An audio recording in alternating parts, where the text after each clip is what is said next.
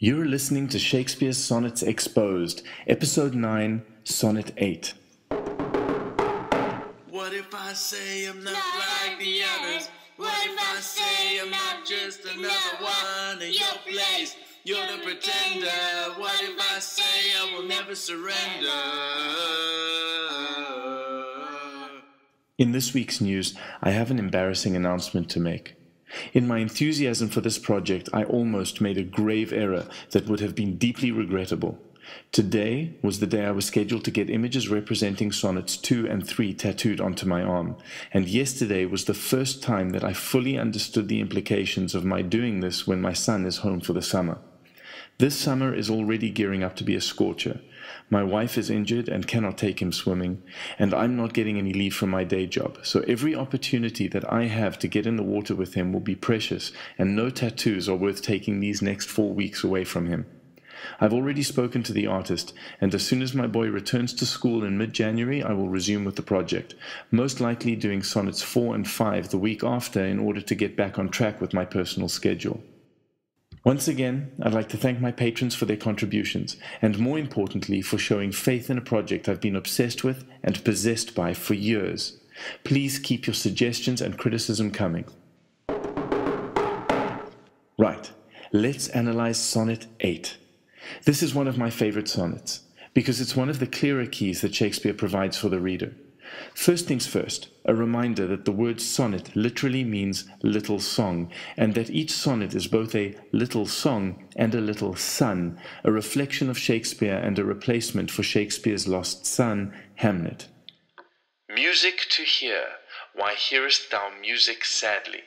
The first phrase, music to hear, serves both as an address and as a declaration of the subject of the verse, depending on whom is being addressed. Music is interesting both for its clearly understood meaning as well as for referring to its origin, the art of the muses. And as Hamnet is Shakespeare's muse, Shakespeare is the sonnet. If each sonnet is intended to be sounded out, then the sequence itself becomes one long song. But music is not always enjoyable, and in this case, Shakespeare's grief is its theme. The sonnet is the music, and hears itself only when read out loud. If Shakespeare reads it out loud, it is a farewell, and if it's the reader reading it, then it is both giving life and voice back to Shakespeare himself, and a song that mourns both him and his son. Sweets with sweets war not, joy delights in joy. Why lovest thou that which thou receivest not gladly, or else receivest with pleasure thine annoy? The sonnet receives the words from Shakespeare and is receiving his music whenever he touches pen to paper. It also receives his music when the reader reads the words out loud. The sonnet loves its master, even though it is taking all of his sadness and longing. But it also loves its mistress, a very different kind of love, a grateful love for the reader bringing it back from the darkness behind the cover of the closed book. Some of the sonnets are filled with love, and some with hate. The word annoy comes from the Old French to be hateful to. And here it's to be noted that regardless of who the subject and object are in these verses, the relationship is two way. Depending on which side of the sonnet looking glass the subject is on, they may be giving or receiving, happily or hatefully. The sonnet loves Shakespeare, even though it receives grief and bitterness amidst the love. Both Shakespeare and the reader love the sonnets, in spite of the tragedy embedded in them. If the true concord of well tuned sounds, by unions married, do offend thine ear, they do but sweetly chide thee who confounds in singleness the parts that thou shouldst bear. The sonnets are well tuned in every sense of the word, but also in the punning sense of being a song about the well in which Narcissus, Shakespeare, sees his reflection. Concord meant of one mind in Old French, originally from the words together and heart in Latin. It's used as agreement, and in addition to the harmonious agreement of sounds, returns us to the term contracted from the first sonnet, meaning married. Confounds both means to put to shame and to mix together, confuse, or perplex. Bear both means to carry or sustain and to give birth. Ignoring the traditionally understood sexual references, let's focus on the ideas of music and marriage. Each sonnet agrees with the others, is married to the others, a theme that's been strongly established since the very first sonnet. They can be offensive, certainly, in particular because from Sonnet 1 they're desperately and harshly instructing Shakespeare, the sonnets themselves, and the reader to get to work on their legacy. Whoever is being addressed, Shakespeare or the reader, is confounding or mixing together the individual sonnets of the sequence. Shakespeare is bearing the sequence by writing it. The reader is bearing it by reading it.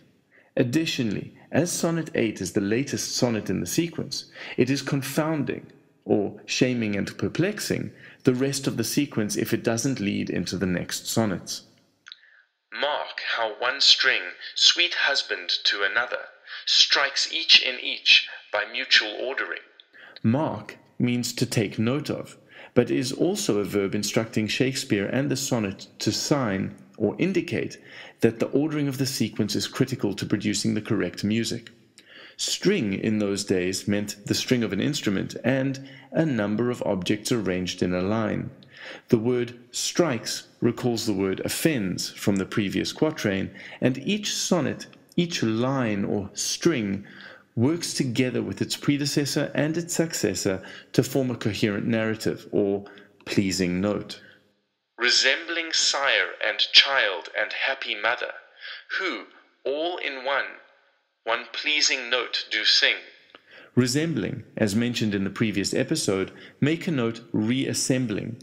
The lines and verses of the sonnets represent Shakespeare and his family, recalling better days prior to Hamnet's and Shakespeare's deaths, and in their entirety carry the following message Whose speechless song, being many, seeming one, sings this to thee, thou single wilt prove none.